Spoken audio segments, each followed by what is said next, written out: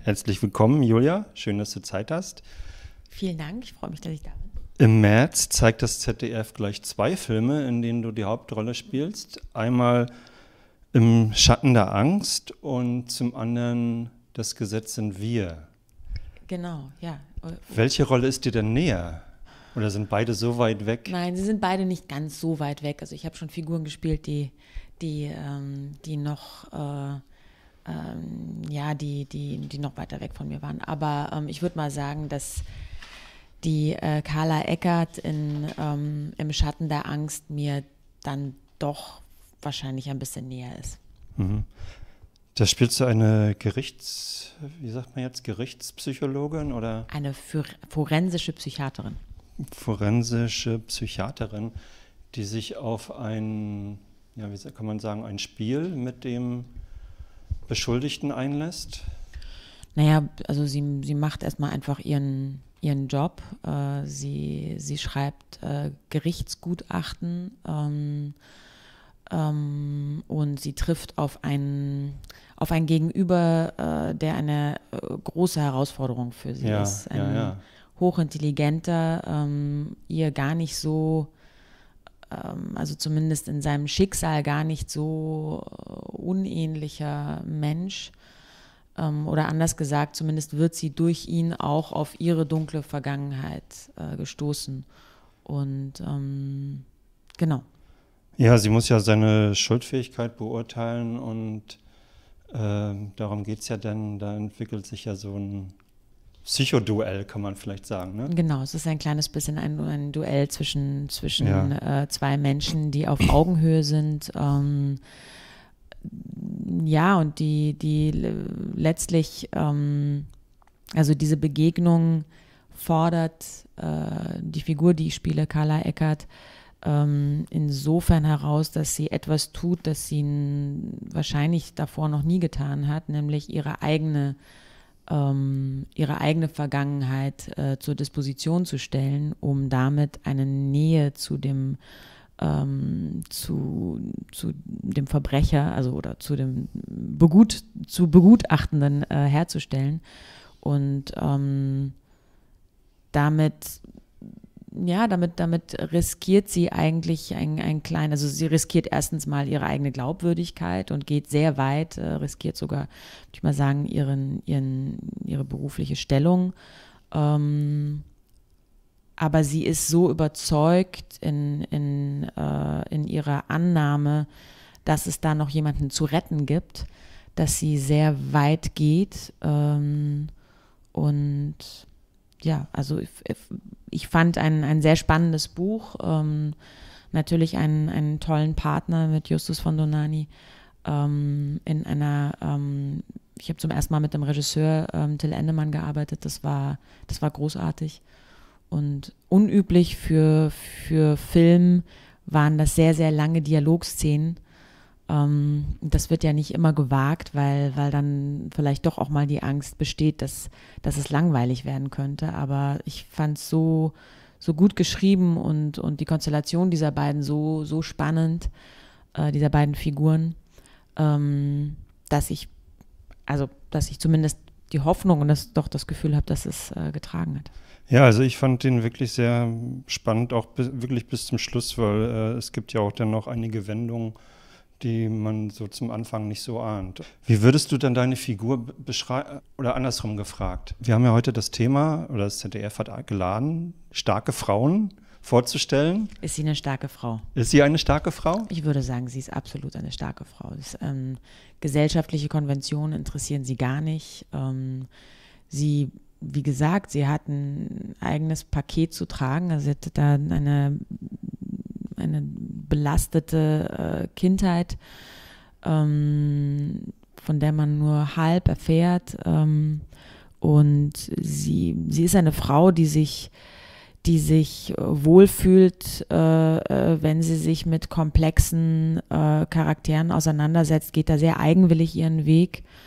Ähm, und ja, also äh, für das, ich sag mal, das sie, sie kämpft diesen Kampf in der Geschichte, die wir erzählen, ja jetzt äh, nicht für ihr Ego, sondern weil sie, weil sie glaubt, dass sie, dass sie helfen kann. Und da geht sie, da geht sie ähm, so weit, dass sie ja sogar sich selbst zur Disposition stellt. Also eben nicht nur ihre, ihre, äh, ihre ihren Job, sondern ähm, ein Stück weit auch, auch ihre eigene ähm, Stabilität. Ja, dem Zuschauer werden ja auch so ein paar Schwächen von ihr offenbart, eben ihre Vergangenheit, die zur Sprache kommt. Äh, aber gibt es auch noch ein paar andere Schwächen? Ja? Also sind, das, diese, du, äh, sind diese Schwächen, gehören die dazu, zu dieser starken Frau? Oder machen die sie noch stärker?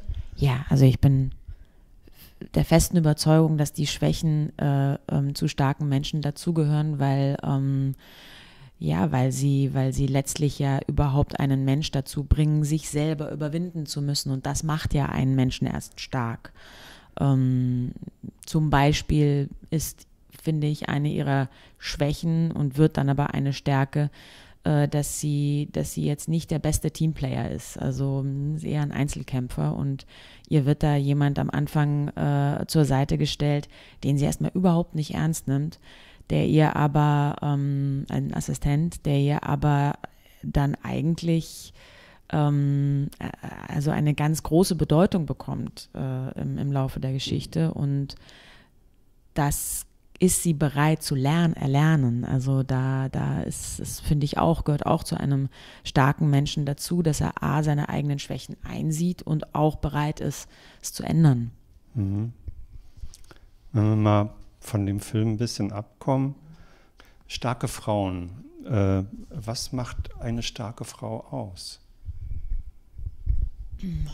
Also ich finde, ähm, dass einen starken Menschen ausmacht, ich sage jetzt mal Menschen, weil ob es mhm. eine Frau oder ein Mann ist, äh, das, äh, das wäre unabhängig davon, ähm, dass ein Mensch bereit ist, Neues zu lernen. Ähm, das heißt, äh, erstmal seine, seine Schwächen selber einzugestehen und dann mit einer gewissen Neugierde und auch einem Mut ähm, bereit sein, dazu zu lernen ähm, und, äh, und vielleicht mal Dinge auch anders zu machen. Das äh, finde ich gehört zu einem starken Menschen dazu. Ich finde, dass, äh, dass es immer eine gewisse Stärke braucht, sich nicht von anderen Menschen zu sehr beeinflussen zu lassen und im Zweifelsfall eine Entscheidung zu treffen, die auch unangenehm sein kann für einen selbst, die sich äh, richtiger anfühlt. Wenn wir mal auf deine Branche gucken, auf die Filmbranche, muss man oder eigentlich Frau eine starke Frau sein, um sich durchsetzen zu können in der Filmbranche? Also es hilft mit Sicherheit, wenn man, wenn man ähm, Verantwortung übernehmen möchte. Das finde ich aber generell als Mensch wichtig. Ähm, wenn man ähm, ein, eine eigene Meinung hat zu den Dingen, ähm, wenn man sich nicht herumschubsen lässt und bewusst Entscheidungen trifft, hinter denen man dann auch wirklich stehen kann, äh, ähm, auch wenn es dann vielleicht mal ein bisschen windig oder vielleicht sogar stürmisch wird. Das sind Dinge, die mir sehr wichtig sind. Ähm, ich glaube, dass man eine gewisse Disziplin braucht. Ähm, da spreche ich jetzt gar nicht von der Branche, sondern das kann ich nur beurteilen aus meinem eigenen Beruf heraus, dass man ähm, ja, eine, eine Zuverlässigkeit und eine Disziplin mitbringen sollte. Und ähm, ich finde auf jeden Fall wichtig, jetzt mal ganz unabhängig von der Branche, äh, dass man ja, dass man, dass man eine, eine Meinung beziehungsweise eine Haltung zu den Dingen entwickelt, äh, ja. immer wieder neu. Ja. Und äh, wenn du auf, auf deine Entwicklung mal zurückschaust, hast du ein Vorbild gehabt, eine eine Frau, eine starke Frau oder auch eine Schauspielerin, an der du dich orientiert hast? Hm, nein. ähm, ich glaube, sehr geprägt hat mich meine Mutter. Das ist definitiv eine starke Frau, ähm, finde ich. Äh, die, die mich aber jetzt weniger, sie selber hat nichts mit, mit Schauspielerei zu Aha. tun, kommt aus einer ganz anderen Ecke, ähm, aber hat mich, äh, hat mich, aber meine beide Eltern äh, haben, haben mir, haben mich sehr darauf hingewiesen, dass ich mir einen Beruf suchen soll, der mir, der mir äh, Freude macht, also den ich, den ich auch wirklich gerne mache und für den ich auch vielleicht äh, gerne ein paar Opfer bringe, wie auch immer die dann aussehen. Ja. Gibt es für dich eine starke Frau, die du gerne spielen würdest? Nee, also ich kann jetzt nicht. Äh, eine. Traumrolle aber vielleicht? Hatte ich nie. Das ist, ähm, vielleicht bewahre ich mich damit davor, enttäuscht zu werden, dass ich sie nie spielen werde. ich weiß es nicht. Aber ähm, ich kann so vielen verschiedenen Charakteren was abgewinnen und ähm, der, der Fokus bei mir liegt sowieso immer auf der Geschichte. Ich finde, dass mhm. die, wir erzählen Geschichten, wir erzählen mhm. keine Rollen, sondern Geschichten. Und ähm, die müssen erzählenswert oder die müssen in meinen Augen erzählenswert sein und, äh, und dringend. Ähm, und wenn dann dabei eine, eine Rolle für mich abfällt, die, die spannend ist und die, die äh, einen interessanten Konflikt oder eine interessante Herausforderung auf ihrem Weg hat, umso besser. Okay. Schön. Das war es auch schon von mir. Ja, Möchtest du noch was loswerden? Nein, vielen Dank. ich bedanke mich für das interessante Gespräch und ähm, wünsche dir natürlich viel Erfolg. Erstmal mit diesen beiden Filmen, aber natürlich auch mit allen anderen Projekten, die noch kommen. Vielen, vielen Dank.